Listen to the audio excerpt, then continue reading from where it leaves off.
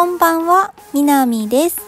今週のゴールドシップ3区出走情報のまとめをお送りします。まずは先週の振り返りからいきましょう。先週土曜日はこういった結果でした。えー、マイネル・メサイアが2着、エドノ・フェリーチェちゃんとイエロー・ウィン、そしてホワイト・ターフちゃんが3着でした。そして先週日曜日はこういった結果でした。火曜年花が2着でした。えー、3歳シンバのオメガオリーブちゃんもとっても可愛かったですね。それでは土日の出走情報スタート今週土曜日は6頭走ります。まずは右側の方から東京5レース3歳未勝利に15番コスモプルエバー。東京6レース。3歳未勝利には9番エリオトローピオ。東京8レース。4歳以上1勝クラスには3番当選クライマー。そして東京9レース。箱根特別に8番でウィンエアフォルクが出走します。競馬場変わりまして左側に移って阪神12レース。4歳以上2勝クラスに7番メガゴールド。競馬場変わりまして小倉8レース。4歳以上1勝クラスに8番で銀のさじが出走します。東京6レースの9番エリオトローピオは新馬戦以来のレースになりますね。どんな走りをしてくれるのか楽しみです。日曜日はなんと10頭走ります。えー、シンバもいるので、東京競馬場から見ていきましょう。えー、まず、東京4レース、3歳シンバに、アストロロジー。東京6レース、4歳以上1勝クラスに、ネイチャーシップ。競馬場変わりまして、阪神2レース、3歳未勝利に、星旗の奇跡。阪神4レース、3歳シンバに、ベイクルーズ。そして阪神11レース京都記念に6番でユーバーレーベンが出走します。えー、競馬場変わりまして小倉1レース3歳未勝利にウィンメイフラワー小倉5レース3歳未勝利に名称ブレゲー小倉6レース4歳以上1勝クラスにマイネルホイッスル小倉7レース。4歳以上1勝クラスにガンバンティン。そして最後小倉9レースアスナロ賞にシーグラスが出走します。日曜日はシンバが2頭に。久しぶりのお馬さんもいて、えー、楽しみなんですけれどもなんと言っても、まあ、京都記念ユーバーレーベンちゃんですよね、えー、6番という馬番もいいんじゃないでしょうか。それでは出走馬の情報を1頭ずつチェックしていきましょう。2月12日土曜日です。東京5レース3歳未勝利に出走するのは15番コスモプルエヴァです。牝馬3歳のクリゲちゃんになります。戦績は4戦0勝。1着が0回、2着が1回、3着が0回、それ以外が3回です。前走10月13日の現在7番人気になります。えー、コスモプルエバちゃんは後ろ足の、えー、2本がですね、白い靴下が履いているのが特徴です。そしてプルエバちゃんの写真、そろそろ更新したいなと思っているので、もし可愛い画像を持っているよという方いらっしゃいましたらご提供いただければと思います。コスモブルエヴァの名前の意味は冠名のコスモにスペイン語で照明を表すプルエヴァを足したものになります。東京6レース3歳未勝利に出走するのは9番エリオトローピオです。牝馬3歳のクリゲちゃんになります。戦績は1戦0勝。1着から3着が0回。それ以外が1回です。前走9月26日の現在8番人気になりますエリオトローピオちゃんも後ろ足白い靴下を履いていますね、えー、そしてお顔が結構派手顔なんですよね。美人さんです。えー、エリオトローピオの名前の意味はイタリア語でブラッドストーンを表すそうです。東京8レース4歳以上一生クラスに出走するのは3番当選クライマーです。ボバ4歳の足毛くんになります。戦績は8戦1勝。1着が1回、2着3着が0回、それ以外が7回です。前走12月5日の現在10番人気になります。えー、当選クライマーくん、この写真は尻尾が短めですね。えー、名前の意味は冠名の当選に、えー、登山者を表すクライマーを足したものです。東京9レース、箱根特別に出走するのは8番、ウィンエアフォルクです。ボバ5歳の影くんになります。戦績は19戦3勝。1着が3回、2着が1回、3着が1回、それ以外が14回です。前走1月15日の現在8番人気になります。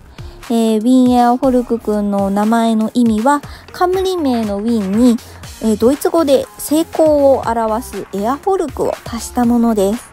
えー、皆さんで応援していきましょう。阪神12レース4歳以上2勝クラスに出走するのは7番メガゴールドです。ボバ4歳の足毛くんになります。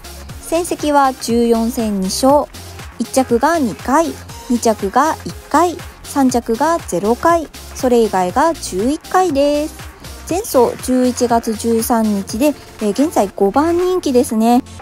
メガゴールドくんはえ去年結構走ってたのであ久しぶりなんだなってなったんですけれども、えー、新年初走りということで、えー、皆さんで応援していきましょう名前の意味は大きいを表すメガに黄金を表すゴールドを足したものです小倉8レース4歳以上一生クラスに出走するのは8番銀のさじです牝馬4歳の青影ちゃんになります。戦績は10戦1勝。1着が1回、2着が1回、3着が0回、それ以外が8回です。前走1月30日の現在5番人気になります。えー、銀のうさじちゃん、えー、1月30日の前走はですね、2着と惜しかったですね。えー、今週は勝てますでしょうか、え頑張ってほしいです。2月13日日曜日です。東京4レース3歳新馬に出走するのはアストロロジーです。ボバ3歳の栗毛くんになります。馬主さんは石瀬幸三さんで現在13番人気になります。えアストロロジーくんの名前の意味は先生術という意味があるそうです。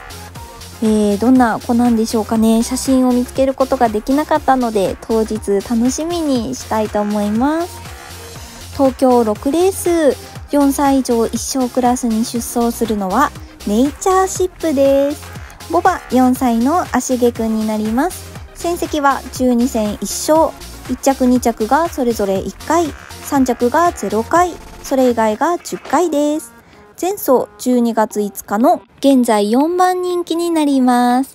えー、ネイチャーシップくん、新年初走りということで楽しみです。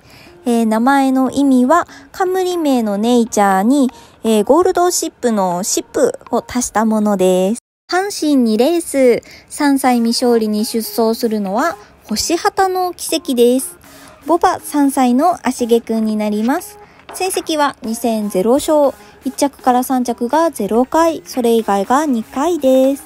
前走1月30日の5番人気になります。えー、星旗の奇跡くんは、もう何と言ってもパドックに現れただけで華やかになる、えー、お顔と毛色と、そしてまパフォーマンスですね。えー、今回も楽しみです。星旗の奇跡くんの名前の意味は、お父さんとお母さんともに星旗の系譜であることから、えー、そちらと、えー、奇跡を足したものになります。阪神4レース、3歳新馬に出走するのはベイクルーズです。ボバ3歳の足毛くんになります。馬主さんは小林栄一ホールディングス。現在16番人気です。えー、ベイクルーズくん。私が足毛好きなんですけれども、えー、足毛ということで、どんな子なのか、とっても楽しみです。えー、お写真がちょっと見つけられなかったので、まあ、どんな子かワクワクしながら待とうと思います。ベイクルーズくんの名前の意味はそのままなんですけれども、湾内公開ということです。待ってましたということで、阪神11レース京都記念に6番ユーバーレーベンが出走します。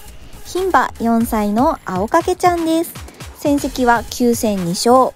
1着が2回、2着が1回、3着が3回、それ以外が3回です。前走11月28日の現在一番人気です。えー、今日ギャロップを見てたんですけれども、ギャロップでもユーバーレーベンちゃん二重丸がいっぱいついていて、もうとっても嬉しい気持ちですね。えー、名前の意味はドイツ語で生き残るということで、えー、頑張って勝ってほしいですね。皆さんで応援しましょう。小倉1レース、3歳未勝利に出走するのはウィンメイフラワーです。牝馬3歳のクリゲちゃんになります。戦績が2戦0勝。1着が0回、2着が1回、3着が0回、それ以外が1回です。前走1月23日の現在一番人気になります。えー、ウィンメイフラワーちゃんの写真もですね、絶賛、えー、募集中でございます。かわいいお写真お願いいたします。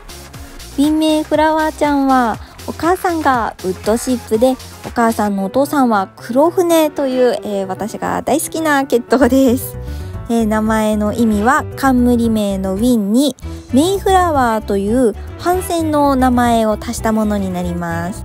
小倉5レース3歳未勝利に出走するのはメイショーブレゲです。ボバ3歳のクリゲくんになります。戦績は2戦0勝。1着から3着が0回。それ以外が2回です。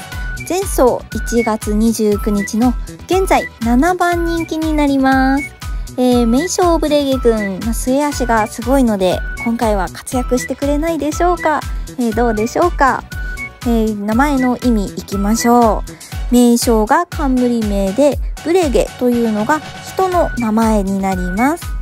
小倉6レース、4歳以上一生クラスに出走するのは、マイネルホイッスルです。ボバ5歳の黒掛くんになります。戦績は17戦1勝。1着が1回、2着が3回、3着が1回、それ以外が12回です。えー、前走が1月23日で、現在8番人気になります。マイネルホイッスルくんも、えー、前足を見てください。長めの靴下履いています。名前の意味は冠名のマイネルに、えー、汽笛を意味するホイッスルを足したものです。小倉7レース、4歳以上一生クラスに出走するのはガンバンティンです。牝馬4歳の足毛ちゃんになります。戦績は8戦0勝、1着が0回、2着3着がそれぞれ2回、それ以外が4回です。前走5月22日の久しぶりの出走になりますね。現在8番人気です。えー、ガンバンティンちゃん、とっても可愛いんですよね。えー、よく見ると、後ろの片足、白い靴下履いています。えー、毛色もとっても素敵です。えガンバンティンの名前の意味は、北欧神話に登場する魔法の杖です。小倉9レース、アスナロ賞に出走するのはシーグラスです。牝馬3歳の影ちゃんになります。戦績は5戦0勝。1着2着がそれぞれ1回、3着が0回、それ以外が3回です。前走1月29日の現在5番人気になります。えー、シーグラスちゃんの名前の意味は海の宝石と呼ばれる海岸で見つかるガラス片です。頑張ってほしいですね。今週の土日もゴールドシップ3区を応援しましょう。馬番が確定していないものは、えー、確定し次第コメント欄に記載します。結果は日曜日にまとめて記載するのでぜひご覧ください。最後までご視聴いただきありがとうございました。